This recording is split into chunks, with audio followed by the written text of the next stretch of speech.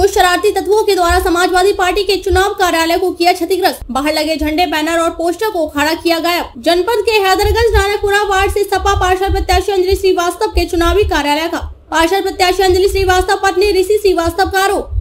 कल हमारे चुनाव कार्यालय का हुआ था उद्घाटन। मुझे अपने वार्ड से जनता का भरपूर मिल रहा समर्थन, जिसके चलते किया गया ऐसा कार्य दबाने का हो रहा है ऐसा प्रयास। कल पूर्व राज्य मंत्री पवन पांडे ने हैदरगंज के नानकपुरा वार्ड की पार्षद प्रत्याशी अंजलि श्रीवास्तव के चुनाव कार्यालय का किया था उद्घाटन। कार्यालय का उद्घाटन हुआ है और कल ही कुछ लोगों ने रात में करीब दो ढाई बजे करीब जो है हमारे कार्यालय के बैनर, पोस्टर, झंडा उखाड़ ले गए लोग।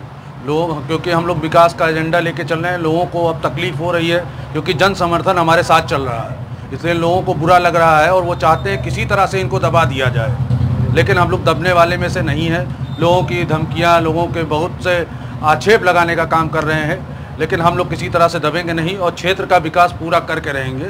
यही हमारा कहना चाहते हैं हम लोगों से और जनता से भी यही कहना चाहते हैं कि सिर्फ़ हमारा सहयोग करें हम कहीं से पीछे नहीं हटेंगे और ये झंडा बैनर कुछ नहीं है आज चार दिन का है। बाद में हम हमेशा उसके लिए खड़े रहेंगे और जनता का पूरा समर्थन मैं करूँगा। जी हमने जो है अभी हमारे अध्यक्ष जी से बात हुई है उन्होंने कहा आगे हम कार्रवाई करते हैं और जैसा भी होगा हमारे अध्यक्ष जी निर्णय लेंगे उस हिसाब से हम लोग पुलिस कार्रवाई करेंगे।